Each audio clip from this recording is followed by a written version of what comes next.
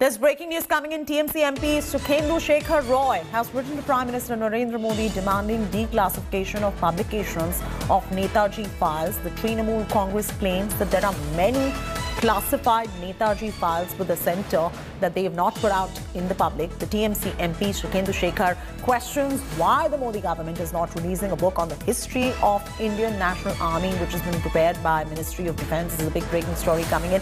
Uh, Poulomi Saha breaking the story is now joining us. Uh, if my memory serves me correct, this isn't the first time that Sukhendu Shekhar has uh, demanded this clarification from the centre. He's done this in the past as well. Yes, he has in fact uh, written uh, to the centre previously as well. He's again written to Narendra Modi before, of course, uh, you know, uh, uh, the nation. In fact, commemorates the memory of Netaji Subhash Chandra Bose on his 125th birth anniversary on 23rd of January, uh, the end of this week. And what is very interesting is that he's seeking the declassification and publication of a draft volume of a history of Indian National Army. That was uh, uh, the army that, in fact, uh, the militia group that, in fact, uh, uh, Netaji, in fact, led in terms of his armed struggle against the British uh, prior to independence. This was, in fact, something which was compiled in the years 1949 to 1950 by a very famous historian but clearly it was not published. And what is very, very interesting is that Mr. Shekhar Roy has shared the details of an MEA communication, uh, which in fact went out to the MOD at that point of time because a lot happened in trying to in trying to get this uh, draft volume declassified. And what he alleges is that certain pages uh, between 182 to about 191 in that particular volume are referring to circumstances which in fact put a cloud of doubt over the plane plane crash uh, in Japan where we believe that Netaji in fact lost his life. Uh, apparently those pages are creating a, a, situation in sorts which uh, suggests that maybe he could have escaped alive from that plane crash. In fact, we have accessed the MEA note to MOD, which was then uh, written at that point of time by then a Joint Secretary in the MEA, Gautam Bambawale, who was uh, with the MEA, and he in fact writes, and I'll just quote one of the points that he makes in terms of uh, putting in his objections to why this draft volume shouldn't be published. He says the volume, in fact, what is likely to be more controversial are the pages 186 to 191 pertaining to the death of Netaji Bose in a plane crash in Japan.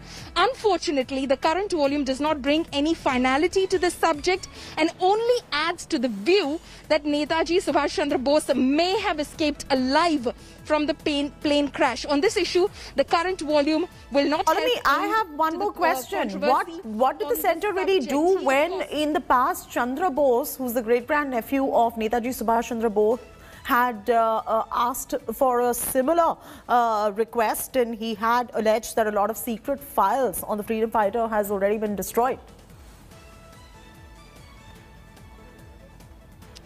Well, uh, you know, successive governments uh, have uh, had their own views and reasons as to why they have not declassified every possible piece of paper or information uh, that there is uh, available as far as Netaji's uh, life and times are concerned. And of course, the mystery surrounding his death as well, surrounding that plane crash that happened in Japan as well. So, successive governments have had their own explanations. This is what Sukhendu Shekhar Roy is also pointing out that this is not about one particular government.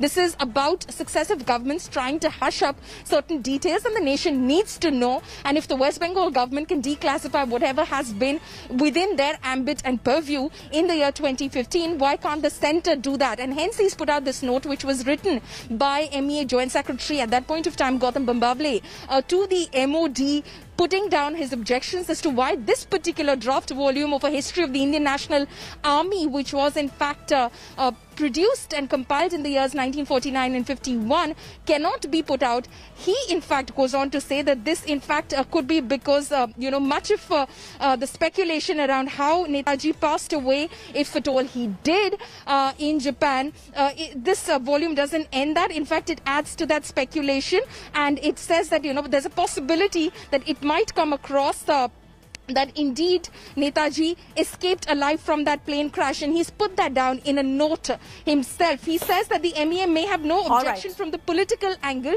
to such a publication. So it's not politics per se, but it is about uh, Yeah. adding fuel to controversy, which the MEA was a little reluctant about. And this is a very important development that is coming in. Poulomi Saha breaking the story first on India Today. Thanks so much, Poulomi, for joining us uh, with this news break. Hi everyone, Preeti Chaudhary here. Hope you like this video. For latest news and analysis, like and subscribe to the India Today YouTube channel. And don't forget to press the bell icon to stay updated. Thank you for watching.